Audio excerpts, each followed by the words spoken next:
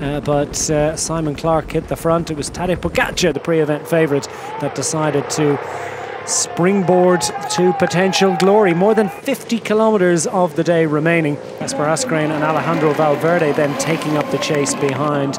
But he had plenty in hand and time to savour the moment as Tadej Pogacar, 23 years of age, took his first victory in Strade Bianche. Yates is there, Vingegaard, Tadej Pogacar, the defending champion of the Tour de France, is not there. Wout van Aert's yellow jersey. This is a furious attack to win the stage. Wout van Aert is going to win today's stage. He looks around. He sits up. It. It's seven stage wins in the Tour de France. Van Aert with an absolute masterpiece. The sprint Jacobsen. behind.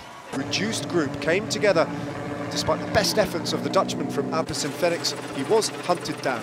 So it came down to a reduced bunch sprint with the unlikely sight of Domenico Pozzovivo leading out Biniam Girmay with Mathieu van der Poel on his wheel. Van der Poel almost came close to Girmay, but Girmay held on to take the first ever win for Eritrea at the Giro d'Italia, a moment of history in the making. Who is going to take the stage win? Evenepoel is going to break the heart of the first red jersey of this race.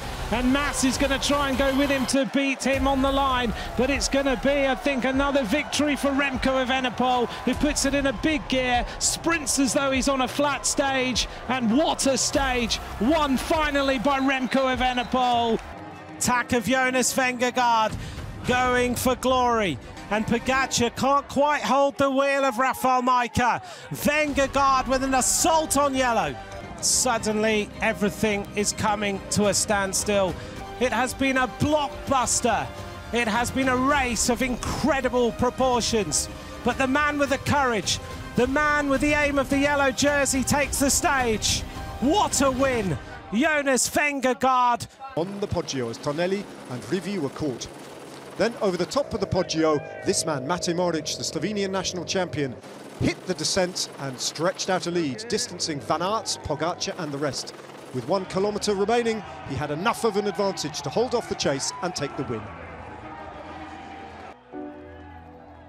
Here goes Tom Pidcock.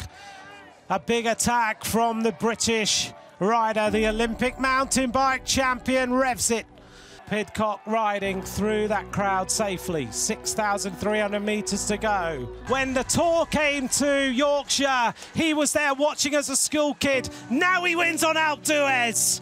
Tom Pidcock arrives at the World Tour of the Tour de France.